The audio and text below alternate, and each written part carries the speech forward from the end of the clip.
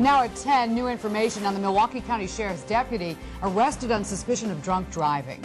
What arresting officers say happened during the field sobriety test. Good evening, I'm Kathy Mykleby. And I'm Toya Washington. Tonight, 12 News has obtained the arrest report in which the off-duty deputy tries to use his position in the department to avoid being taken into custody. 12 News' Chloe Maroney is live in Hales Corners with new information tonight.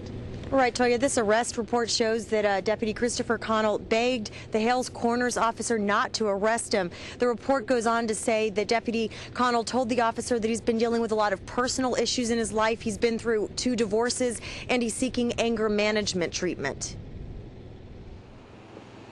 A traffic stop that came as quite a shock to the Hales Corners Police Department. I think it just goes to show everybody that nobody's really immune from this kind of behavior.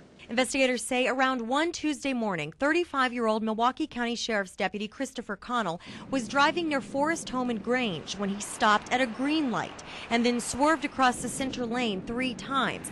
So a Hales Corners officer pulled him over. The incident report shows Connell let the officer know he was making a big mistake, saying, I can't believe you are doing this. I'm like two blocks from home. Don't do this to one of your own. But the Hales Corners officer administered a field sobriety test, which investigators say Connell failed. They say he had a blood alcohol level of 0.22. Wow. That's well above the legal limit. That's a considerable amount, yeah. The report shows Connell was combative and threatened to harm himself. The report shows at one point Connell told officers, You know how many cops I've stopped and let go? Hundreds. If I saw a car smashed up against the wall and it was a cop, I would let the man go. You did not have to do this to me. Okay, do you know when he might be back? We stopped by Connell's house for comment. We were told he wasn't home. Or? But Hales Corners officers say this situation just goes to show no one is above the law. It lets the public know that the enforcement still goes on. It's still a continuing issue, and we're going to still do our best to combat it.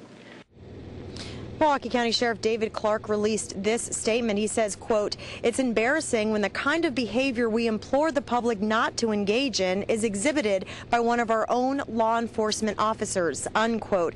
Now, Connell is a 12-year veteran of the Sheriff's Department. He's on administrative leave during an internal investigation, and we do want to point out that he has not yet been charged.